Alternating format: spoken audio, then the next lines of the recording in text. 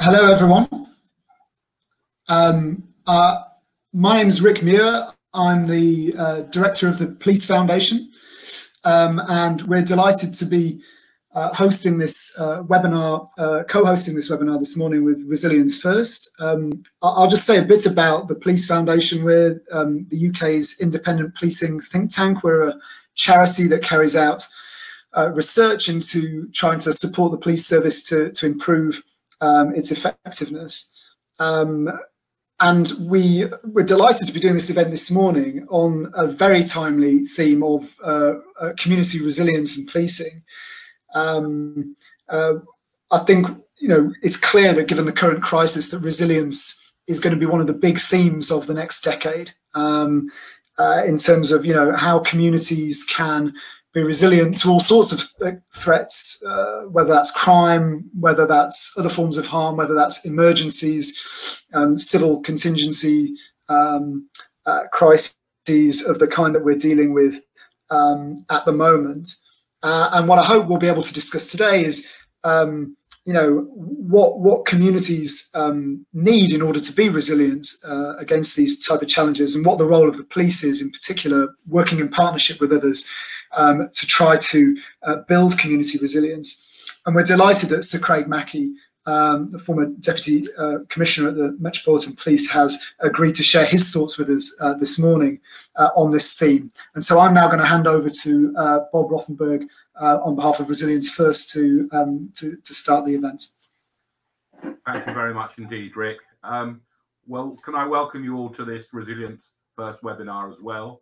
Um, for those of you who have seen the video of what we do. I hope it's given you at least a brief insight into the organisation.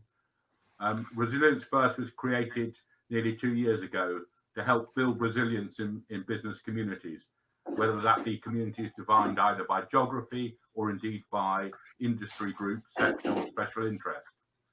Since its inception, we've attracted over a dozen major companies as what we call champions, as well as a host of affiliated organisations and members to our network. And they've all been willing to help us spread through uh, their, their, their businesses best practice and learning. The current commissioner of the Metropolitan Police Force, uh, Cressida Dick, has said that, the, that communities defeat terrorism. This statement can be expanded to include other lawless areas, uh, behaviour from tackling street crime to social disorder. Of course, it's also true for defeating our latest threat, threat COVID-19. However, bringing communities together as a multiplier is not an easy task. It involves businesses, both large and small, residences, schools, sports centres, churches, and any others operating in a common space for public benefit. So this morning, and by way of an informal conversation, our guest and I will try to explore how policing and law enforcement can help to build greater resilience among our communities and businesses, including policing the pandemic. And um, I, as Rick, are delighted to welcome Sir Craig Mackey here uh, this morning. Sir Craig's biography has been circulated, so I'm not going to repeat any of this, other than to say I think he's going to help us this morning uh, through what are some interesting uh, and challenging times. Um, Sir Craig has agreed to say a few words to start us off, and then I will try to uh, eke out of him some elements which perhaps will be of interest to everyone, um, and also perhaps then invite Sir Craig to answer some of your questions. So could I ask you to post any questions you have online, um, and then I'll try to pick out those where there's a common theme.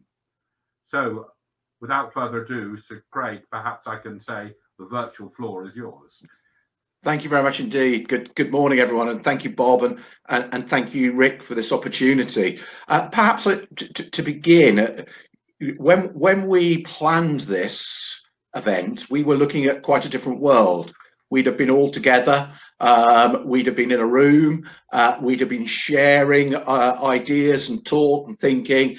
Uh, things have changed quite dramatically in the last few months. Uh, you, and, and I'm very conscious that people uh, taking part today, um, even if they're sheltering at home, um, all the way through to those who are first responders. They're doing something really, really important to help the UK at this time. So, first off, it's a really, really big thank you for everyone who's on today uh, for what they're doing to help in this space.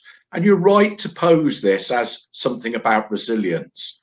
I should add, when I talk about resilience, yes, I'll refer at times to some of, uh, uh, of what academia has said over the last 10 or 15 years about how we build resilience, but I'm talking about it very much as a practitioner. It's very much my experience of, of uh, my working life in both, particularly Cumbria and London, and looking at what does it take to build resilient communities uh, right across the board. And, and I've always been very strong on you build resilience on a day to day basis. I see it very much like a bank account. You put credits in by good interactions, good policing, good contact, good networks. And then in times of crisis, you start drawing from that bank. And we're clearly in one of those times at the moment where we are drawing from that bank. And I'll touch on the end why I think there's some positives in this but we can absolutely learn something about resilience and what works because the questions posed to us are come on then how do we do it and what works? We know from looking back over some of the things that have affected crisis events and impacts not on the scale of, of, of the pandemic but we know some of those things that, are, uh, that, that have an impact. And i would highlight three that we focus on. Information and communication systems and processes and people. And why are those crucial? We talk about you cannot do anything without good information.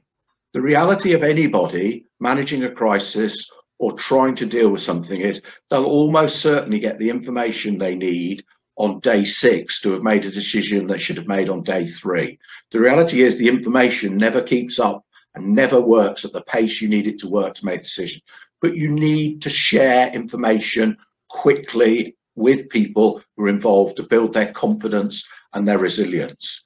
So things when we talk about in good times, things like information sharing agreements between business and policing, between communities and policing, they're not just nice to haves, they're absolutely essential. And that leads to, into the issue of communication. The reality is when crises take effect and when you need resilience in an organization, a lot of people's horizons close down. Uh, their fields effectively, uh, they look at things in a much smaller field, much smaller lens. Um, and that's very true of what we're seeing at the moment in terms of uh, uh of what's going on in the U in the UK. People have closed down to a much smaller area. What's happening around me? What's affecting me? What's affecting my family? So how do we communicate in a way people hear and understand? Because when we're trying to build resilience, it's no use us saying, well, we put out a press release or we put something on Twitter and everyone must have picked it up. The reality is we need to use a, a whole range, a plethora of means of communicating, and we need to be very straightforward in how we communicate. Because what will happen in every times of crisis and stress as well, you will get what we're seeing during this pandemic. You will get um, uh, false rumours and stories that emerge uh, out of out of left field. And you, as an organisation, be it a business, it affects you, be it a public authority, need to be able to respond to those. I give you a real example.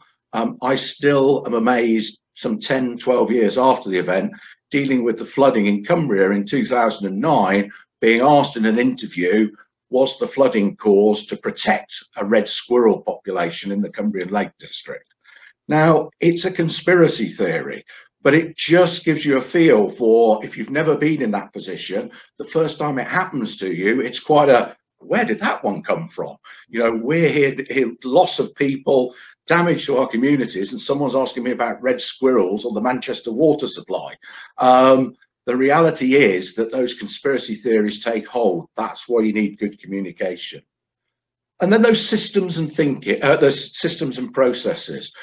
The reality is, if you don't plan for these sorts of things in your day-to-day -day business, if you don't plan for disruption, if you don't plan for uh, uh, supply chain shocks, loss of power, loss of your business premises. The reality is, when this happens, it can be catastrophic for your business, your employees, and the community you work with. You have to plan. Now, that doesn't mean you have to plan to the nth detail and take all innovation out of the system.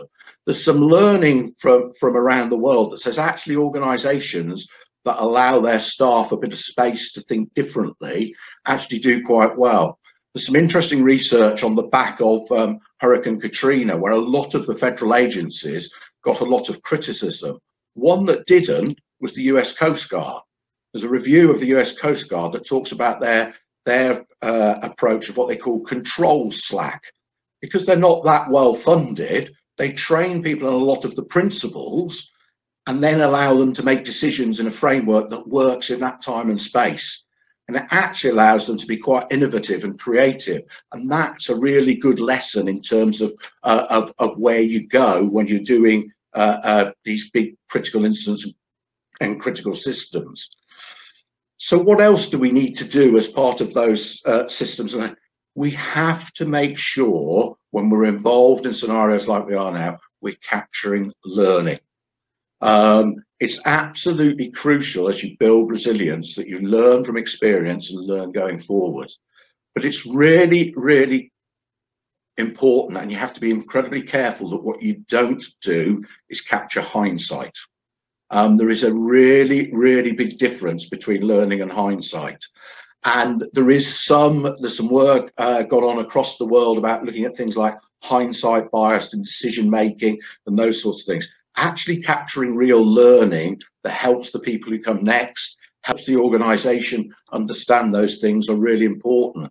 Something I wish I'd been better at and had done more often is when you're in the middle of one of these crises, at the end of each day, just a simple thing like an action learning log and capturing those notes that you think on day two it felt like this, on day 12 it felt like that. It's a real discipline that works well, but making sure that you build those systems that work are absolutely crucial. And the third point is that one around the people. Uh, the reality is it's only when you need resilience that you see the strength or otherwise of, of, of your people in the organization. And the test I put to everyone on the webinar this morning, how well do you know your people? Not I know them because it's you know it, it's Joe or Mary in the in the canteen and say no what are their other skills? What are their other attributes they can bring to where you are now and what they can do? And I give some real examples of that. I was always amazed working in a, a, an environment like both Cumbria and London of the extra skills people have that they can bring into the workplace that are part of what make them the person they are. And by that I mean someone working perhaps in a in a role in an organization that you almost people sadly almost take for granted, but you suddenly find they're the leader of the mountain rescue team. They also happen to know how to do fast flowing water recovery. They're a first aider that's got a better qualification than your first aider in your own organization these sorts of people exist. How do you harness them and how do you know who they are? And when you're talking about people as well, it's also about making sure that you're training your people to, to understand some of the challenges they might face. And some of that training is getting people used to dealing with the ambiguity they'll inevitably face as they try to tackle some of these issues around resilience. Because ambiguity is a huge, huge uh, issue in this space that if the first time someone sees it is when something is happening for real, then don't be surprised sometimes if they don't perform as you want them to do, or if they uh, if they stutter or fail on it. And the other thing to do as well as we talk about people, and this is particularly acute as we start to talk about going through the organization, sorry, going through the incident resilience, remember the effect this is having on the people in your organization of what you're going through at the moment. Um, they are working at a pace and for a period of time that is quite extraordinary. They may well be seeing things that people should never have to see. Um, how are you as a leader going to deal with that? Not just day tomorrow, the next day, three years from now, five years from now, 10 years from now. But I'll probably just close my uh, opening remarks about this whole issue around resilience with what I think is a, is, a, is a bit of hope. And I can only bring this from personal experience. I have been humbled on many occasions uh, when I've seen incidents, been involved in things, to realize the level of background resilience there is both in communities, in organizations, and individuals. Um, that gives me real, real hope for the future. If you'd have said eight to 10 weeks ago, you've got to design a system where people are are crowdsourcing masks, are building stuff on 3D printers for the NHS, are coming together to help their neighbours who they've never met. Most of us say, oh, that won't happen. Society doesn't do that.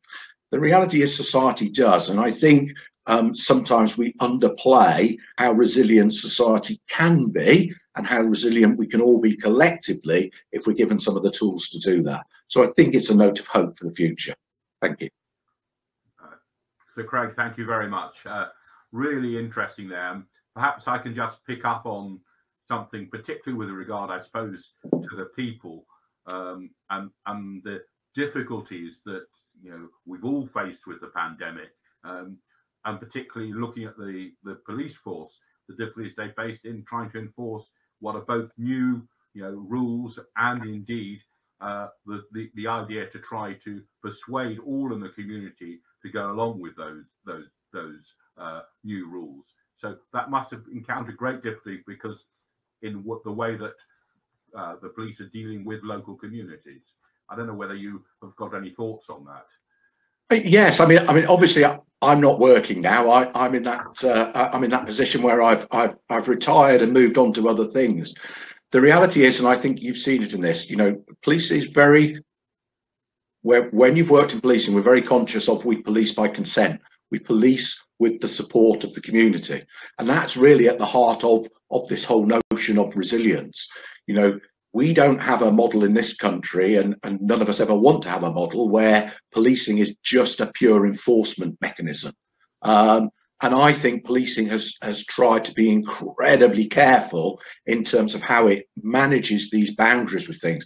And the reality is, and I'm sure you see it where, where you are in, in, in isolation lockdown, you know, the reality is 99, 98, 99% of people comply, want to do things, want to make these things work. And, and that's the reality I've seen in, in, in other crises, in other events. When you say to communities with rationale, you communicate things in a clear way that people understand and know what they can do, people want to engage and be part of it.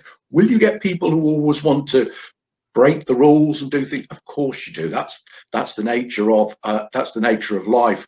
And i hope we deal with those people uh, in an according way. But i think policing is incredibly conscious and particularly in the british policing model of the relationship and the importance of that relationship and consent that it has with communities to allow it to operate. And I know talking to, to colleagues who are still working, that's something they think about on a daily basis in terms of not just what the rules say, but how, what's the tone of this, how's the principle, and how do they make it work?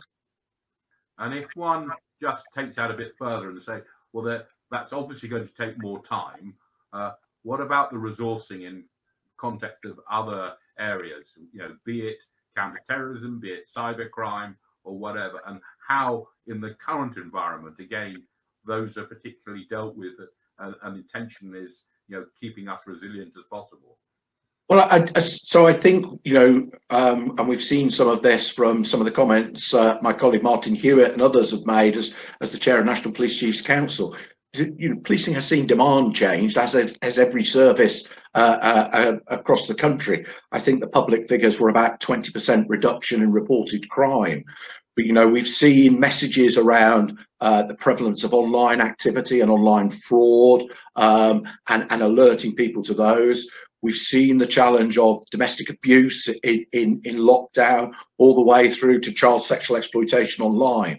So policing, I think, has been quite proactive in terms of trying to get those uh, those messages out about how it changes and what it does but it's not uncommon in policing to have to, to, to, to, flex the service offer sort of in, in, in, in, in sort of management speak. But the reality is to, to say, actually, we've got to triage the offer we make around particular services in a different way based on a different threat and risk. This will be quite a long time we'll be doing it, but it's certainly been done in my policing career, be it during civil disturbance, flooding, um, uh, you know, other major incidents where you've had to say the core service for this reason looks different. And I think, again, this goes to the heart of providing we're honest with the public and we communicate in a way that works, then those messages, I hope, uh, uh, get across. But it goes back to that fundamental point for me. It is about building on a day-to-day basis through good community policing those levels of resilience those levels of understanding if the first time you talk to a community is when something goes wrong that's going to be quite a difficult debate somebody once said to me you know um, it, it's really hard if the first time you've got to manage a critical incident um, is when you walk into the room and it's the first time you meet the other key players around it. A real life example, uh, and the individual did brilliantly well. Um, the chief executive of Cumbria County Council was appointed the afternoon of the 2009 floods. She was having her interview at three o'clock. By later that night, she was in the gold setup with the rest of us delivering a service. You know, that's how quickly things can happen. Um, she did an absolutely superb job. But those are, you know, that could happen to any one of us. Fine. And and how, you know, if you want to look at that, do you actually you talked about your the desire to have a log at the end of each day, writing down, you know, what you know what you've learned today. Um, and I think that's something that we all should be trying to do. But how do you then disseminate that across an organisation, you know, it, it, to help individual communities in terms of what's there so that we can all learn from that from each other? Well, you have to invest time in actually structured debriefing and learning. And that's something I learned after a number of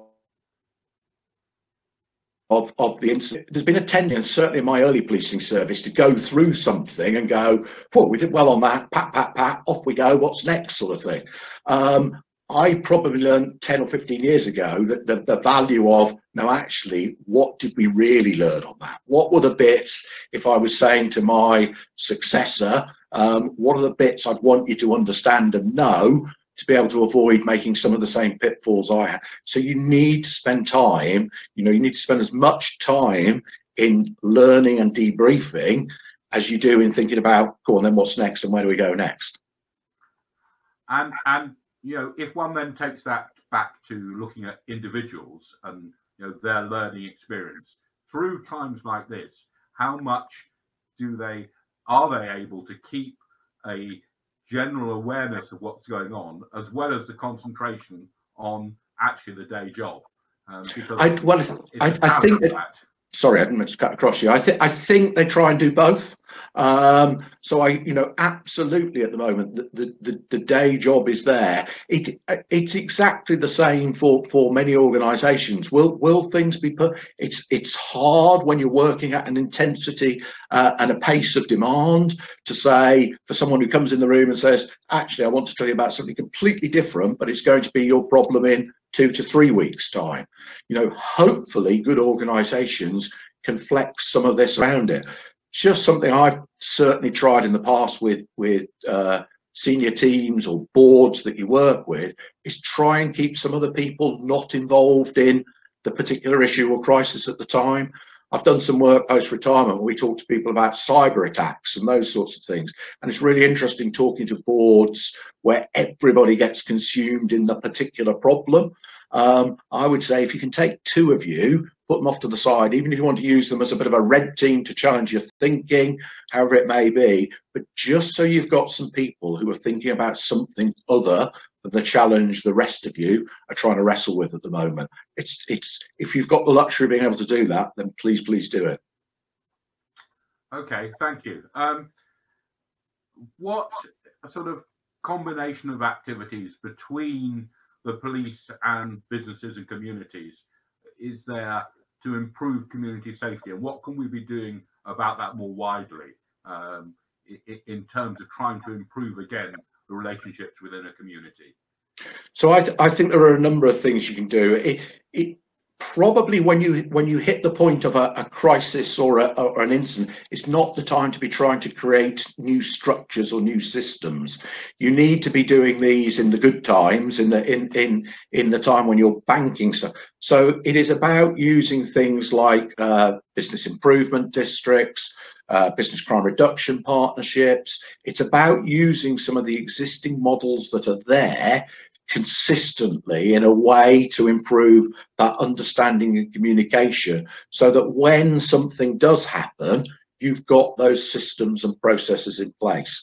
And through the work you know latterly in my service i was the uh, uh, the, the national business crime lead for policing some of the innovation that's going on between businesses and policing around how it tackles um, some of the threats around business crime are really, really quite interesting. And they're about building long-term understanding. One that I was I, I was particularly enthused with, um, not long before I finished in policing, we we started to move to a scenario where we were putting uh, police officers on placements in back into business. Um, so we had officers, uh, particularly with the retail industry, working in key parts of the retail industry, working with key uh, uh, UK businesses, understanding their needs and bringing that back into the sector. The initiatives like that are hugely rewarding and the impact that had on how law enforcement sector gained a better understanding, particularly at that time, of the threat retail and retail were facing in terms of those things are, are really, really important. And initiatives like that help no end. With communities, you see some amazing uh, uh, examples across the country of work going on with communities uh, from stuff going on in both social media all the way through to work going on in the in the physical world you know? And the reality is what you can't do is say i'll take this model that you know my sort of profile probably shows at the two extremes. I couldn't take a model that worked with a community in south london and say that will work with a super rural isolated community in the lake district mm. uh, the reality is you have to have people who sufficiently understand the area in which they were to be able to adapt those practices and policies to work in those areas. And there are some tremendous examples of that working successfully. And if you try again to take that to looking at the community resilience, right, how do you actually then put that into tools that a community can employ? Well, I think there's a number of ways you do it. So you, you building community resilience is a, is a long-term issue. You, you touched on in the introduction. Probably 20 years ago, if you'd have if you'd have tried to look for issues like community resilience, there wasn't a lot of academic work on it. There wasn't a lot of research out there about it. People started to understand, be it in um, earthquakes, in volcanoes, all the way through to flooding and other things, that there was something different in the way some communities coped with disruptions. I'll go as broad as that: threats, risks, disruptions, um, and something different in the way some businesses do. I mean, there, there, are some classic examples of businesses who get a disruption to service, sail through it, and are a better business at the end of it. Sadly, there are also some examples where a disruption to a supply chain or a loss of a premises finishes a business. Um, so this, this new area of how do we make people more resilient came into place. What it starts to do is, is, is offer you some ideas around how you start to build that resilience.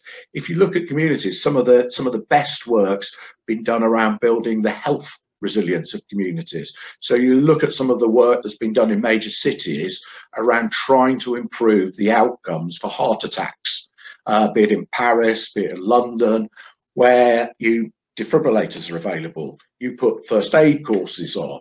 You give people IT that allows them to see if there's a heart attack in my street, the nearest defibrillator is here and the box is unlocked, or here's the code for it. Or actually, working in this premises is a first aider who can do this. Mm. So you start to build those sorts of levels of community resilience that that helps in those space. So there are some quite straightforward measures you can put in. There's then the ones you can do by actually designing them into the built environment. So we talk about, you know, uh, uh, post flooding and post some of those events. A lot of the work around the built environment is about building resilience into those communities, A, to prevent some of this stuff happening again, but if it does happen again, to mitigate and minimize impacts. So it's a it's a course of things, and it really focuses around what you can do around the people, what you can do around the place, and what you can do around sort of the built environment. Okay. Um, and if one then gets into looking at local communities and neighbourhood policing, um, yeah, how you know is that going to continue to develop and build a resilience? So the involvement of the police, the continued involvement through what they're doing in neighbourhoods, and the continuity of, of officers in those neighbourhoods building that resilience. Yes, I mean, um, it, the, the, continuity of officers and the continuity of, of, of faces is is absolutely crucial uh, in terms of uh, in terms of this. Um, you know, the reality is that many many officers um, uh, want to be part of that uh, community and want to work with local communities and do an amazing job day in day out and doing it I think it's one of those things where, as we look at um, uh, at measures and we look at outcomes, you know, we often focus on what I would call the high end, high harm outcomes of, of, of, of crime. We ought to be looking about things like, you know, how resilient is that community to external shocks? Now, how you measure that, there's a whole whole uh, raft of work to do. To, but you know, actually, what is the role of policing as part of building that resilience with the local community and the understanding from the local community. And I can think of many examples during my policing service where I have been incredibly grateful that the particular challenge we had was policed by an area where an officer had deep personal understanding of what was going on in that community, could tell us things about that community and understood things about that community that myself in a in a in a in a, a, management position or even one step removed from the geography would have found hard to interpret and understand in a way that made sense. That's the real benefit. But those people aren't just there in policing. They're there in local authorities. They're there in health workers. They're there in social workers. All the way through to uh, uh, people who work in local shops in that area. So there are huge ways of tapping into this. You know, one of the ways I try to understand um, uh, the the farming community, rural communities, where when I worked in Cumbria, was what we call farm gate meetings. And people sort of looked at me and said, "Well, what is a farm gate meeting?" We literally met at a farm gate with four of the local farmers and said, what are the issues affecting your industry? Because it is a big multi-billion pound industry. Uh, and sometimes we sort of gloss over it move on. It's a multi-billion pound business uh, that affects the uk economy. So it's important we understood the threats that was posed all the way to being in london and going into a, a, a in my in, in my job in the met going into the board of, of of some of the largest companies in the uk and sitting with with senior members and going right, what can policing do for you and what can you do for policing? How we get those things going is, is how we have the success. Okay. Um, and perhaps just one final thing from me, perhaps before we turn to some questions that have been raised, is how can business really lead in contributing or helping in building the stronger the communities, particularly obviously with regard to your expertise from the police side, but also more generally? Because I think it's important that we do what we can as business. Yeah. So, so I think first of all, it it it, it it's groups such as your own, um, and it's groups such as uh, uh, there, there are many many uh, business groups that, that, that work in this space, uh, and I would encourage any business step into this space. One, it's hugely rewarding for your staff uh, in terms of uh, their ability to to to better understand the communities in which they work, um, but also very much for the business. It's a way of developing a relationship at a local level that sometimes, if you're a national or multinational business, is much more complex and much more difficult to have. I would say to business, don't be frightened and stepping into this space. You know, the dare to share what you know and the dare to share what the police service knows, I've always found has been incredibly beneficial to both sides. Um, it's not always easy to do. Um, data sharing is is easy to say. It's actually sometimes quite complex to do. But actually getting beyond that and sharing real data and understanding with each other has real, real benefits. So I'd say to business, please, please continue doing the work you do with policing and law enforcement. It is incredibly important. And I know colleagues in law enforcement would want to continue being part of and doing that work with you. Thank you. Thank you.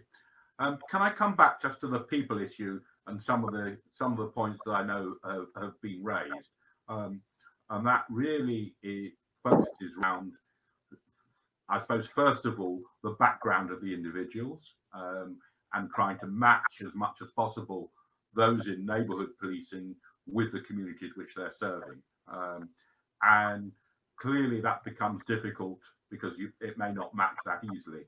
But what are the your thoughts on the experience that, that gives and the help that that brings, particularly looking at, at, the BAME communities and the BAME representation in the police force? I, I, I, mean, it's an incredibly important issue in terms of uh, uh, of, of, of where policing goes, and it, it's not just. I think some people uh, have, have sort of looked at it and said, "Well, this is this is an issue that's that's that's purely about numbers." I've always seen it as absolutely about effectiveness and legitimacy with communities. Um, you know, the reality is that we, we're working with communities and working with communities that are different, however that difference might be, and whether it's communities of geography, communities of religion, communities of approach, you do need people who are able to flex and work across those. So it's absolutely vital that the, the police service continues to attract a wide range of people coming into the service. And I saw over 34 years in policing, the, the organisation that I left looked very different to the organisation that I joined. And I think that's incredibly beneficial. And, and for all those who sort of retire and say it's not like it was in my day, I will say to people, no, it's not like it was in my day. I think young officers coming into policing when I left were far more capable than I ever was. They were far more able to understand risk, understand difference, to manage complexity, to manage a workload that I would never have had to manage as a as, as a young operational officer on the streets of Swindon back in the early 1980s. They have a completely different uh, outlook uh, and a set of values. Um, but what is absolutely clear, they bring that same passion that I'd seen all those years ago to actually do the right thing for communities. So I'm I'm absolutely I'm incredibly positive about the quality of people coming through, but I don't underestimate you have to keep driving those issues through. And the work policing is doing around recruiting, particularly around uh, uh, retention and progression, is vitally important in that. I think also it might be something we see um, uh, as a result, and it's far too early to talk about lessons from this this uh, uh, the pandemic, but what I would call the valuing of public service. We've seen a very very different public debate in a relatively short period of time around people's understanding of what public service is and what it means to be a public servant. And I would absolutely include policing, law enforcement, and many, many other areas into that. That's quite interesting because, you know, I'm sure you're right about, you know, that there will be over, you know, the coming months and years a, a greater recognition of, you know, what the public service does for the country as a whole. Um, but if I can just pick up the point you, you, you were talking about, you know, that young new officers might might learn and bring to the organisation, and you know, at, at, at, the level that you were at when you finished your career within the police force, that how do you match those two? Because you're bringing certainly an element of culture, uh, they're bringing an element of new experience and so on. Um, but your you know distances apart, if you like, in terms of your you know, your, your roles and being a, the ability to match those two across the board. Yeah, no, I mean that's a that's a I think that's a perennial problem for many organisations. You know, quite interestingly, I've I, I work with a number of organisations in retirement, including some uh, uh, private sector and and third sector agencies who wrestle with exactly that same thing uh, in terms of how you bring it through. I suppose for me, it's it it goes to um, valuing valuing individuals and valuing people's input almost regardless of of, of, position, of organizational power, and those sorts of things. And you have to create mechanisms that allow that to happen. You know, so some of the things that um, uh, were going on in the Met, things like um, a, a, group called the Commissioners 100 uh, uh, when I was there, where it was, a, a group of people who were sort of literally brought together and what are your ideas? What are you thinking? I mean, things like Police Now and others came from some of those sessions where people said, let's just think completely differently about what the world and the future could could look like. And I think that's really important. It's also particularly important where it's probably underutilized, but I think is getting better, is in that whole space of the opportunities that technology will give us. Um, having now sort of left policing and looking back in, I wish I'd been able to do more to drive technology even faster because I'm absolutely convinced that's going to be a, a, deciding factor for many organizations and businesses going forward. That doesn't mean buying lots of computers and that's it means how we use technology, how we provide digital services, how AI works, how big data could potentially work, what sits in systems at the moment. And I think that's where bringing young people, bringing uh, uh, new ideas, and bringing different ideas. And I think it's this, it's this, um, it's this thing that you, I think, certainly I learned it on my journey through my working life. I know I work best and I'm most effective when I have people around me who don't think like me. I quite enjoy being with people who think like me, but I'm actually I'm actually much more effective when I have a team around me who don't think like me. I recently did the, um, uh, and it's not been published yet, or the work's not been published, but I did the review of serious and organised crime for the government. And we had a team of people with me on that who um, uh, uh, uh we referred to as a stripy team because it's civil servants, police officers, all sorts of people. And we all thought quite differently. And, and I actually, it just reinforced for me that energy, that dynamism of thinking makes you think, no, actually, there is a different way of doing this. We could do it like this. So I just encourage people, you know, in some of the work I do with coaching and mentoring people now, I say to them, you know, don't look for people in your team who replicate you, look for people who are different to you. You will get far more from it. And does that mean that you're a supporter of the direct entry schemes that there are? I, I, I, well, I've always been of the view, you know, the reality is I, I, I think we had more to give than to fear from some of those sorts of things. I think, you know, I, I was incredibly proud. You know, there are some colleagues on the conference this morning, some of the names I know. You, you'd want to be led by some of the people on this conference this morning. They are really, really good people. And they might be in a position in an organization that's got nothing to do with the rank on their shoulder or anything like that. I've always, you know, what I saw was incredibly powerful. So I do think there are opportunities to think differently about how we bring people uh, into the service and, and, work through the service. Now, for a whole variety of reasons, some of those have not been as successful or in the volumes that people would have wanted. But I think it does show a willingness of the police service to try and think and be a bit different. Just changing the subject, uh, another question that's been asked, um, looking at when there is some form of disruption and areas are cordoned off or whatever it may be, um, that often disrupts business in that yeah. particular community. Um, and how you know how can that be speeded up that the disruption there is as little as possible and as in shorter time as possible? Well, I think first of all, it goes back to one of those first points about information and communication.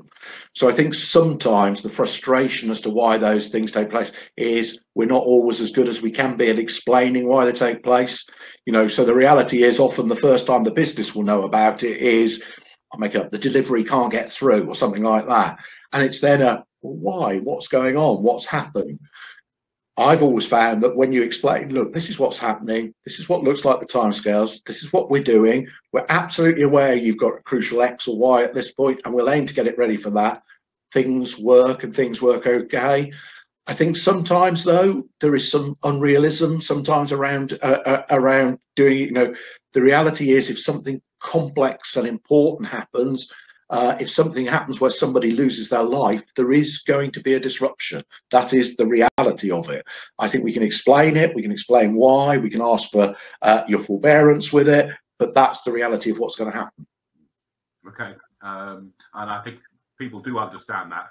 It's just trying to make sure that there's the right balance in terms of, of not creating too yeah. longer disruption. Um, one question, sort of, that's come through a different, a, a, number of different themes, and that's about recruitment into the police force. Yeah. Um, and question from me, rather than trying to take the others, and I'll follow up on those, is you know, recruitment is immensely difficult into the police force. I'm well aware of that um, with the small involvement I have at police now, which you mentioned. Uh, but how do you see that going over the, the, the coming years? Is it going to be a greater challenge or a lesser challenge? Gosh, um, so so I think there are two potential scenarios. I think you're absolutely right. Pre um, shutdown, pre the changes uh, uh, with the economy, it was absolutely clear that people were having to work incredibly hard uh, on recruitment in what was a, a, a very very full labour market i.e there were lots of people in work not a lot of people looking to move and some of the challenges of uh, uh, of getting people to coming into policing were quite large.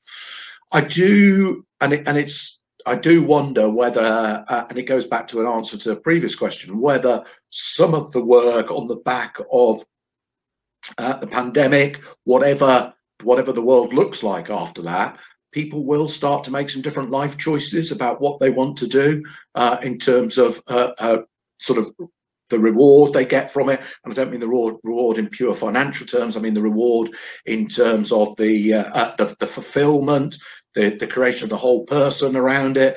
So I do think there is potential there for things to change in terms of doing it. The, the reality though is, and you know, and, and I look back as, as, as some others will do on the on the conference over a, a, relatively long period of time, these peaks and troughs have been around uh, certainly for the the 34 plus years or so I did in policing. You know, when I joined in the early 80s, police forces were running waiting lists for people to join policing. Um, almost eight or 10 years later, it was sort of, please, please come, please come. Can anyone join policing? I think that is the reality. I think what's also happened with the um, uh, the, the, the, the, big uplift in uh, police recruitment that was announced tail end of last year, people have also seen how hard it is to actually recruit at volume and scale. You know, I take my hat off to, to, to colleagues working in HR and recruiting departments and these processes. They are not easy to run at the scale you need. You know, I you know my experience is the Met where standard turnover is 1600 to 1800 posts a year. So you need something that's turning away just to keep the organization uh, in, in, a stationary place. Um, so these are these are big things that you need to do. And I think it's important we always keep looking at what attracts people to policing, why do they come into policing, what are the things and what are the barriers uh, that prevent them. I think one of the things going forward will be the very changing expectations around the nature of work. Um, you know, I can say this, having left policing, I was probably quite insulated from just how different uh, people see work in other sectors. You know, working with people in the private sector, quite openly say, you know, I'll probably do five or six different careers, let alone jobs, Craig. And you sort of go, what? You know, I thought this was, you know, I thought I'd been radical. I did too, you know, wow. Um, so I think we, uh, the policing has got to start to think about what does that different, what would a different offer look like? Is, is a 35, 30, 40, whatever the, the issue is, is it that or nothing? Uh, what would shorter engagements look like? I think all of those things and all of those debates will come. Now, they won't be easy, and I'm not for one minute, I, it's not my role to propose them, but I think they're debates policing will have to have. And I mean, looking at it from the outside, you know, the greater, exactly as you've said, the greater depth of experience that people have across any organization the greater success it's going to have yes. to be to be prepared yeah. for those shocks that come along. Yeah. and and also the pace at which they're coming along now. You know, the reality is, um, you know, as as I was leaving, people said, you know, tell us what the future is going to look like. I said, well, I can't, I can't tell you. Know, if I if I could tell you that, I'd be doing something else with my life. You know, but what I can tell you is the pace at which those shocks, those changes come along will increase. That's the reality of sort of my last 10 or 15 years in work in in the public sector. They will increase in terms of doing it. And you'll need a set of core skills and abilities to be able to manage those and you'll need to keep refreshing those. And if one looks at the different challenges and this comes back to where i started with the discussions on the pandemic the different challenges that will continue to be presented to the police force as a whole um, and the, the resilience of the police force itself to being able to deal with those challenges. How do you continue to keep the awareness open of, you know, if you like, the senior members of the teams to being able to deal with those? Because they're the ones often who are more set in their ways and find it difficult to change what they're doing. And I accept that's a very general statement. But yeah, in my few years of experience, yeah, no, I, found that to be true. Yeah, no, no, I, no it, it, it's taken in the spirit in which it was intended. I absolutely assure you. But no, so so I think that is always a challenge, and I think that's a challenge with all organisations, um, and and colleagues from business will recognise as well. If you have an organisation that cannot hear or does not listen, you have a problem no matter what the organization is. Um, and cannot hear and doesn't listen is as much applicable internally as it is to external customers, suppliers, and those those sorts of things. And and that's you know for anyone in a position of leadership that ought to be one of their key worries uh, in terms of the organization. Can my organization really hear the dissonant voices? Can my organization understand what it feels like to be the late turn control room operator at such and such, or the person on the shop floor in such and such? I think those things are really, really important for uh, uh, for any leader, but they're absolutely crucial uh, in this day and age. And it goes to your earlier point, particularly at the pace at which organisations are being asked to change, evolve what they do, um, they're having to be incredibly sure-footed. Now, will you find some people who are closed? Of course, I'm sure you will in terms of that. But I'd also put up many of the current leaders and say, these are some pretty good examples still working, uh, coming through the system. Um, you know, I saw some people uh, coming through in in sort of superintendent, sergeant position, brilliant PCs working with communities on a daily basis, you think, you know what, in 10 or 15 years' time, if you're still doing that, this community will have really, really benefited. So I, am quite reassured and positive about the future. Doesn't mean I'm not alive to the fact if you get it wrong, it can be quite damaging, both for individuals, but also, more importantly, for communities uh, and those policing is paid to serve. And perhaps I can just pick up pick up on one final point. It's something you said in your introductory remarks, um, and I think we'd all benefit from your thoughts on how to go about doing it. And that is the difference between hindsight and learning from the experience, and how best to try and come out of that in terms of uh, organizational, organizationally, resilience-wise, and so on. Um, yeah, gosh, it's so I so I think and and it, it's happened to me a couple of times uh, post incident. It took me a, a, while in my sort of professional development to realise that to actually learn lessons is both quite professionally challenging, but but also quite painful in terms of the process of getting to the lesson rather than the hindsight. And there are some there are some really really good examples out there. I think the reality for me is you need people when you debrief and look at lessons learned who are absolutely have an expertise in doing this who don't let you get away with i followed the book or i followed the procedure or you know in this why did you do it What did you feel? What were the other options? You know, you you absolutely need that level of questioning and probing to get to those key issues of learning. Um, and, and and you look at some of the examples. I'm always taken for for for those who've who've not seen it. It's it's worth looking at the um, uh, National Transportation Safety Board report on the famous um, uh, what's called Miracle on the Hudson, the U.S. Airlines uh, plane that went down in the uh, in the Hudson River. Because if you look at the hindsight, uh, when they when they ran the tests on that incident uh, on the simulators, on the simulators you could land the plane back at the airport because everybody knew exactly what was going to happen. So you can just dial in the vectors, the plane will come round and land it in the airport. If you're the poor soul who has to do that first off, you've got no idea you're going to lose both engines. And you've got a 20 to 30 second period. And they, for those who've seen the film and read the stuff, they'll know they dialed in this. But it, it, it's just a very small example of this issue about I think we let people down if we put people into a leadership position and say to them, here's all the things if X happens, you do again. Because it might be X plus one, or it might not be X, it might be Y. So, what is the real learning? And some of the real learning is often it's the systems, it's the processes, it's how you develop your people. There are, there are of course, some key things that you have to do, but it's it's often a quite a different thing. The learning to, you know, I'd, I'd always turn left in future rather than right.